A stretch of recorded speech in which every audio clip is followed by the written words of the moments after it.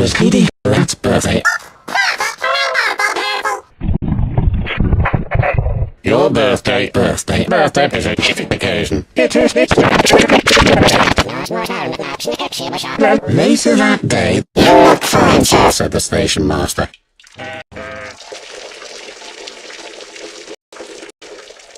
Sir, said the flight controller, I'd best be going.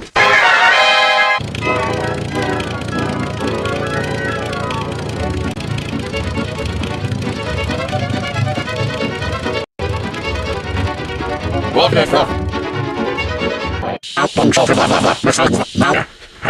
I change, change my wheel, I'm sure to dirty my trousers.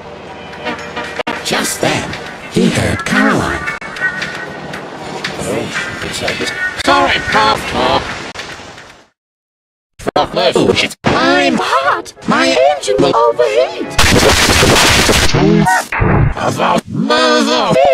Call yourself a car, you're a disgrace to the road. George's driver was more polite. Can I be of assistance, sir?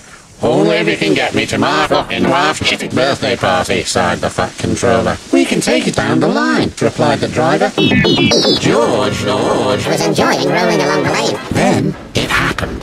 Oil splashed everywhere.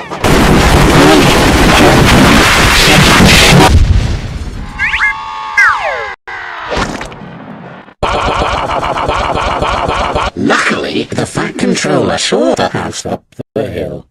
I have to get to the party, all I'm trying, sighed the fat controller. Meanwhile, Petey Rat was waiting for him. As the clock struck three, there stood Sir Topham Hatt. Topham, you look so filthy, exclaimed Heavy. Then why are you so late for my party? I'm, I'm sorry, my dear.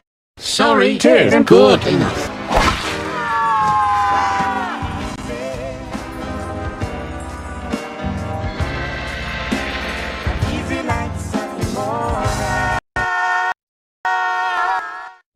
Serves you right for ruin my perfect birthday. So get out now, you filthy bastard.